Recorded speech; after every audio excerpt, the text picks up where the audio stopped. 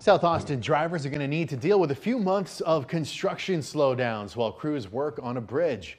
Starting Tuesday all the way through November, William Cannon Drive is going to go down to four lanes between Menchaca Road and Woodhue Drive. Now this work is to shore up the bridge running over the railroad tracks.